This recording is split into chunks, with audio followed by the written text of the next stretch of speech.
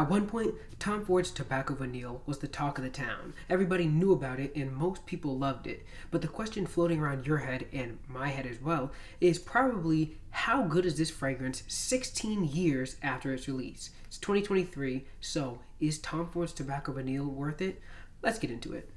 Tom Ford's Tobacco Vanille is listed as a unisex, spicy oriental fragrance with obvious notes like vanilla and tobacco, but with other notes like dried fruits, woody notes, and cacao. I'm gonna be honest, for the first one to two hours, really all I smell is the tobacco, vanilla, and then a hint of the dried fruits in there. And it doesn't really smell like anything else. It smells smoky, sweet, spicy. It's a combination that is quite pleasant.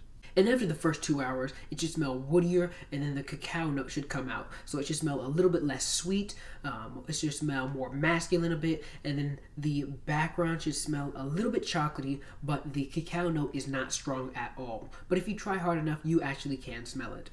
I'm not sure why, but for some reason, Oriental fragrances love to have this super sweet, spicy opening, and then have this like woodier, spicy dry down.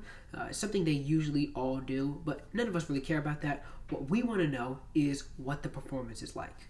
This fragrance is actually quite strong, and it's mostly worn in the winter. No surprise there, but it's actually kind of a more sophisticated oriental kind of fragrance. So if you were wearing a nice suit or something, I could easily see you wearing this all year long. But for overall versatility, it's really not that versatile.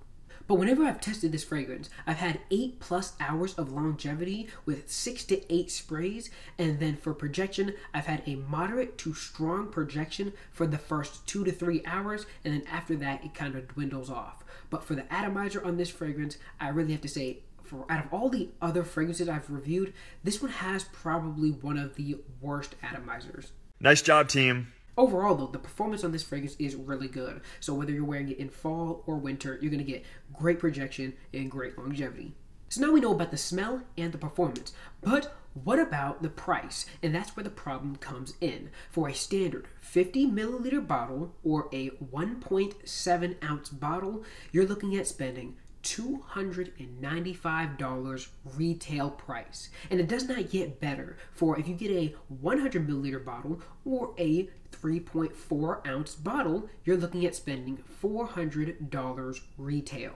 This is very expensive and it can really push many people away from even thinking about purchasing this fragrance. And it doesn't really get better either when you switch to discounters because the lowest price I've seen on a discounter was for a 50 milliliter bottle or a 1.7 ounce, once again, for just about $200, $194 to be exact. So that really does beg the question, is this fragrance even worth the hype? Well, Tom Ford's Tobacco Vanille is a very good fragrance, a very high quality fragrance, but even for me, that price is outrageous. It's hard to justify spending that kind of money when I can easily get something like Layton or Spice Bomb Extreme to do the exact same thing. I would say if you really, really like the smell of tobacco and vanilla like I do, then it would be a great purchase. And if I'm basing it off of just the smell alone, I do think it is worth the hype. The smell of this fragrance is worth the hype, but the price kind of makes it unjustifiable, and I don't know if I would say it is worth the buy.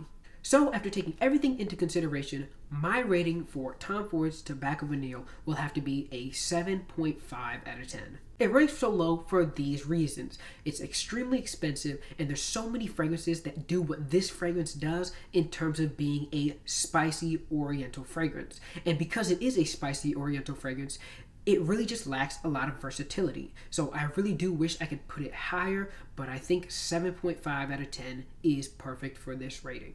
And that concludes my review. If you disagree with anything on this video, leave it in the comments and I will see what you guys have to say. But don't forget to subscribe to my YouTube channel, like this video if you truly enjoyed this video, and if you want to see my video about Parfums de Marly Layton, click here and you can watch that video as well. But guys, that is all for now. I will see you guys in the next one.